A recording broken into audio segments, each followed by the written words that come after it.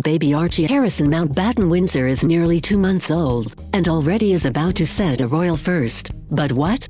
Meghan Markle and Prince Harry are new parents to baby Archie Harrison and have so far kept him out of the spotlight. Even Archie's christening is planned to be a private affair, held in the Queen's private chapel in the inner sanctum at Windsor Castle.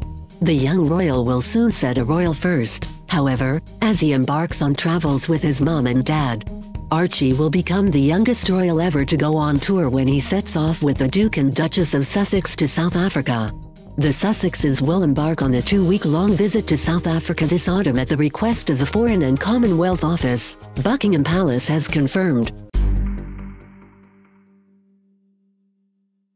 The exact date of the trip is unknown, but predictions are so far placing it in October. This would make Archie the first five-month-old to make official appearances during a royal tour. The Cambridge children have also toured the world, but not at such a young age. Prince George visited Australia and New Zealand with Kate and William in 2014 when he was just nine months old.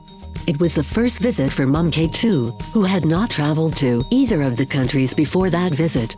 Princess Charlotte accompanied her parents and older brother Prince George on her first official royal tour aged 16 months old.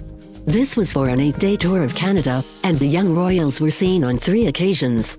Looking further back, Prince Harry was eight months old for his first royal tour, visiting Italy with Princess Diana, Prince Charles and older brother Prince William in 1985.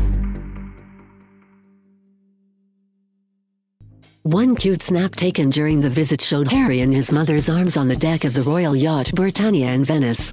And Prince William also set a precedent, being the first royal baby to go on an official overseas trip with his parents. He too was just nine months old when he joined Prince Charles and Princess Diana on a six-week visit to Australia and New Zealand. William flying out for his first royal trip was at the request of Diana, and this was also Diana's first foreign tour. Royal toddlers had attended official tours abroad, with Prince Charles frequently visiting Malta with Prince Philip and the Queen. One picture shows two-year-old Charles holding Philip's hand at a London airport after a trip with his family to Malta in 1951. Princess Anne also visited Malta in 1954 with Charles and their parents when she was just four years old.